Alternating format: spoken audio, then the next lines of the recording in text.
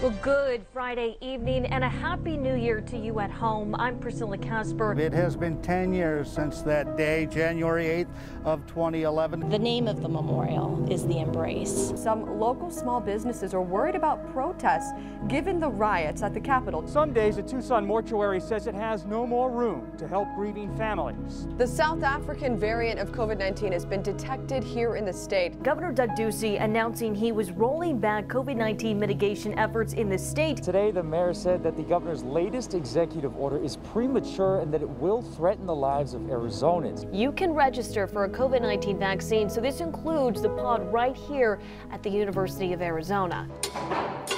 Took quite a while to build our new set. Wait till you see our new look. It's going to be great. Mayor Regina Romero is asking for a temporary pause on a zoo expansion effort. Well, Governor Doug Ducey signing an anti-abortion bill today. Arizona beats Connecticut by 10. This incredible run comes to a heartbreaking end. Tucson's very own Chef Maria of Boca Tacos is making her debut on Bravo's Top Chef season. People continuing to stream across the U.S. Mexico border through Arizona, the new facility capable of housing 500 people is meant to help deal with the recent surge. Governor Doug Ducey issues an executive order banning so called vaccine passports. The Atlanta Dream select Aari McDonald, University of Arizona.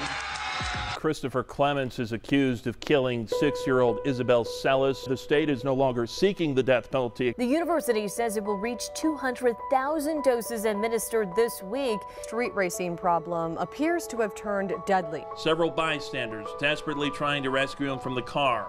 He passed away soon after in the hospital. The Pima County Board of Supervisors declared May 29th as Grace Soto Day. TPD, all been talking about a pay raise for a while now, and it's finally come around. There are a dozen cities nationwide that have seen a spike in homicides. Tucson is among them. It's a rise that we certainly didn't anticipate. I'm just taking a little time off to enjoy some uh, retirement and uh, break away from this business for a little bit. With KVOA participating in the relay, uh, Al promised to give Tucson a little extra love because the Today Show, Savannah Guthrie, is also from here. A procession was held today for fallen Nogales police officer Jeremy Britton, who died after being hit by a vehicle off I-19 last month. The city of Tucson is left reeling after a horrific shooting spree. Two EMTs were shot, one in the arm and in the chest, and the other in the head. A home invasion where an 11-year-old girl was held at gunpoint. And the mother is pleading for the public's help. It's a danger to leave these people out there. Arizona students will now be required to learn about the Holocaust in class.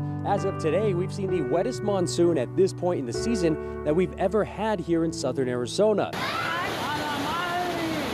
A Tucsonan is a world champion. Michelle Lesco won her first Nathan's hot dog eating competition. Various church leaders conspired to conceal the sexual abuse. The Food and Drug Administration could give full approval of the Pfizer COVID 19 vaccine next week. He's been looking for the suspects since April and found them within three months after the initial story aired.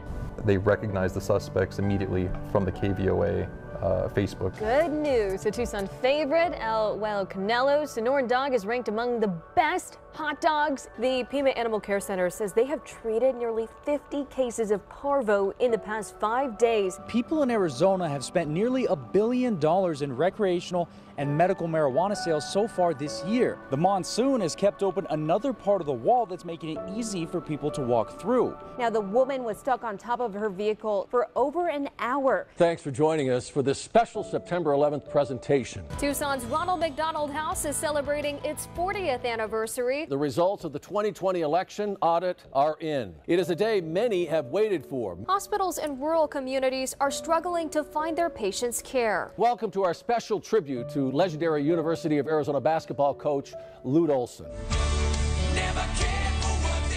Pima Community College is one of the community colleges selected across the country that will receive $100,000 funded by legendary band Metallica. Military black large zip ties and standing in my doorway. Threatened to place her under citizen's arrest for following Pima County COVID-19 protocol. Giraffe, Denver. The zoo announced she was euthanized today due to declining quality of life. Tucson native Brisa Bergeron taking center stage in LA at the Dodgers game singing the national anthem. Record high season for the West Nile virus in our state.